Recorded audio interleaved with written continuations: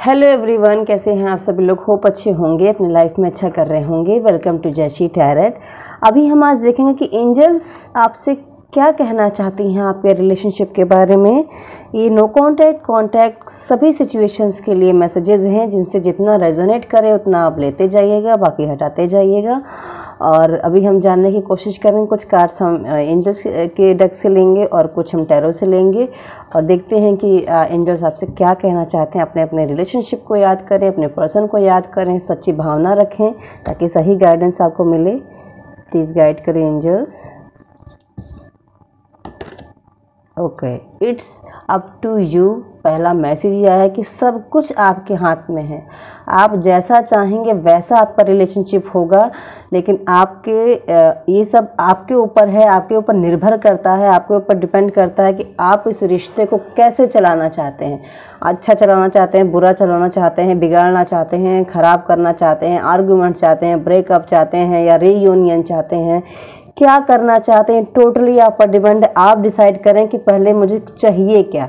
उसके बाद कुछ चीज़ें आगे बढ़ेंगी। Next listen to your intuition तो आप अपनी इंट्यूशन की ज़रूर सुने।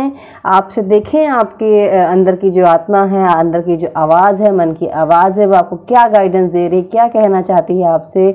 इस रिश्ते के बारे में, इस रिलेशनशिप के बारे में कि क्या अच्छा करना है या रहना है, नहीं रहना है सुधारना है क्या कमियाँ हैं उन्हें ठीक करना है। हाँ ये मेरे अंदर कमी शायद मुझे ये सही कर लेना चाहिए तो शायद ये सही हो जाए। कुछ ऐसे मुझे मैसेजेस अंदर से हम लोगों को मिलते हैं, अंदर से मन की आवाज़ आती है कि, क्या ये कर लिया होता तो ये शायद ना होता।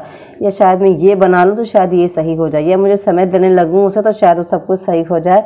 या मैं उसे थोड़ा प्यार जताने लगूँ तो शायद वो ठीक हो जाए। कुछ भी हो सकता है रीज़न तो ऐसी कुछ आवाज़ें आती हैं आपके अंदर से तो आपको उन्हें सिर्फ़ सुनने की ज़रूरत है, उसको फॉलो करने की। ज़रूरत लट गो करें पुरानी चीज़ों को, पुरानी चीज़ों को पकड़ कर। बिल्कुल भी नहीं रहना है आपको अपने सिचुएशंस में, अपने रिलेशनशिप में।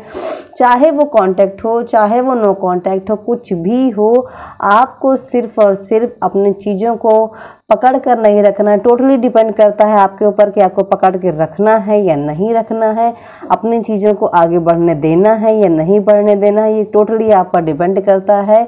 और अगर आप लेट गो नहीं करेंगे, पुरानी चीज़ों को पकड़ के बैठे रहेंगे तो क्या होगा? वही आर्ग्यूमेंट्स वही लड़ाई, वही चीज़ें, बहस वही रोना धोना, वही रातों की नींदें खराब होना, परेशान होना डिप्रेशन में जाना, ये सारी चीज़ें आपके साथ में रहेंगी जैसा कि हमेशा से होता आया है।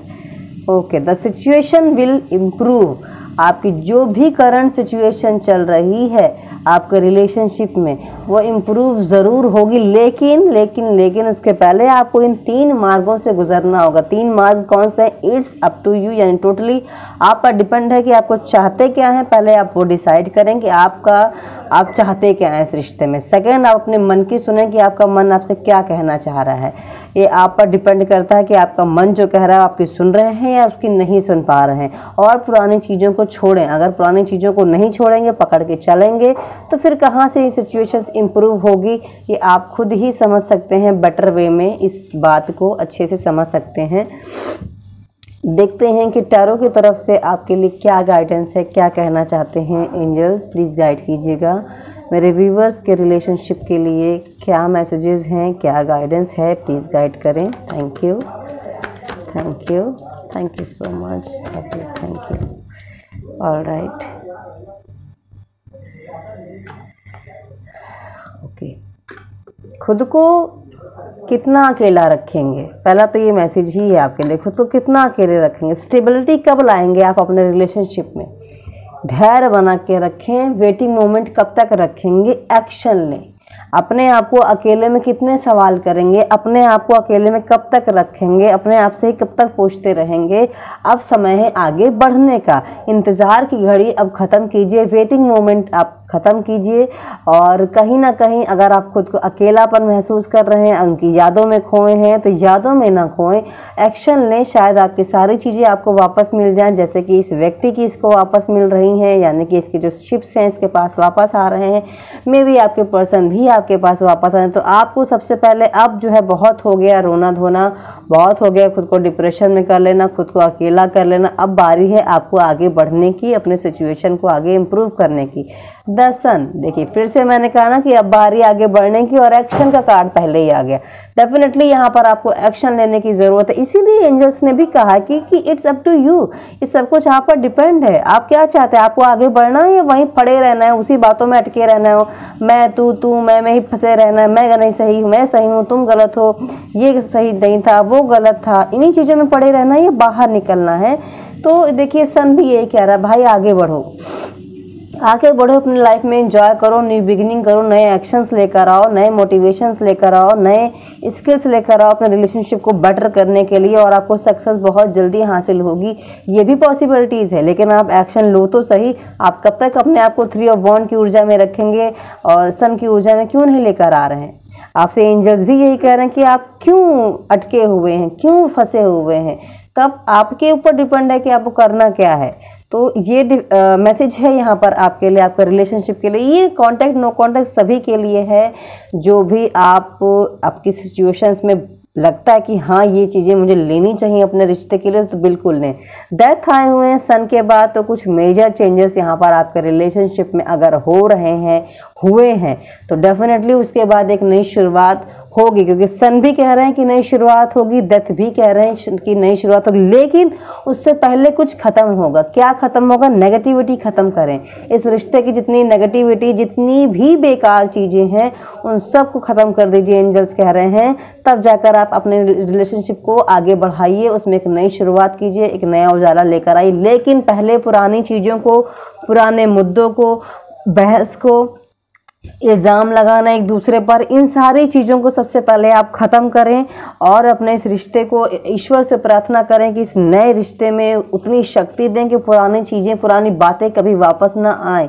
तो आपको इस चीज़ का भी ध्यान रखना है बहुत अच्छे से, क्योंकि द सन और द डेथ दोनों ही एक साथ आए हुए हैं। आपको ये समझाने, ये बुझाने कि कुछ भी मेजर चीज़ें अगर आपके साथ घट रही हैं तो आप उसको देखें, समझें, परखें कि वो क्यों घट रही हैं, कि किन वजहों से घट रही हैं। उसके बाद डेफिनेटली एक नई शुरुआत होगी, लेकिन वो फ़ेज़ आपको झेलना ही होगा, गुजरना ही होगा उस फ़ेज़ से आपको। तो आपको न्यू बिगिनिंग करने की ज़रूरत है, पुरानी चीज़ों को ख़त्म करने की ज़रूरत है। ज़रूर थोड़ी सी तकलीफ़ होगी, लेकिन आगे सिचुएशन इम्प्रूव होगी ताकि आपकी लाइफ में देखिए बैलेंस्ड आ सके। जैसा कि मैंने पहले ही कहा कि आप एक्शंस लें और बहुत बैठे बैठे ना सोचें, आगे बढ़ें, पुरानी चीज़ों को ख़त्म करके आगे बढ़ें।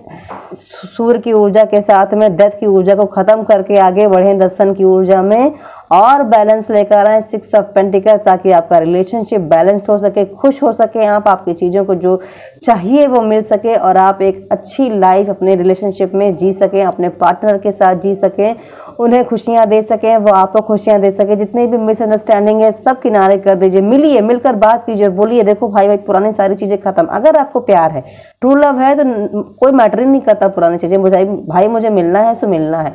मिलिए, ख़त्म कीजिए पुरानी सारी बातों को वेटिंग मोमेंट को ख़त्म कीजिए और डेथ को यहीं पर छोड़ दीजिए और सन के साथ चल दीजिए अपने रिलेशनशिप को बैलेंस करने के लिए। तो ये कुछ है एंजल्स की तरफ़ से मैसेजेज आई होप आपको कुछ गाइडेंस मिली होगी। अगर मिली हो तो प्लीज़ मुझे बताइएगा। इस वीडियो को लाइक कर लीजिएगा। अगर आपको पसंद आया हो और चैनल को सब्सक्राइब कर लीजिएगा, अपनों के साथ शेयर कर लीजिएगा। Thank you so much take care all of you bye bye